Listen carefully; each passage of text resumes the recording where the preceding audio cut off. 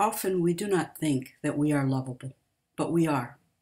We are loved in so many ways, in so many planes of existence, in ways seen and unseen. So for today's practice, go to a place within you where you feel loved, where you have felt loved before.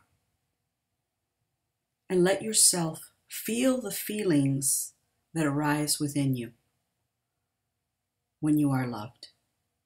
And then say to yourself, I am loved. I am loved. I am loved in ways seen and unseen. I am deserving of love. I am loved. I am really, truly loved. I am loved. I feel loved. I feel enveloped in a blanket of love. I am worthy. I am loved. And everyone else is loved as well. I am loved.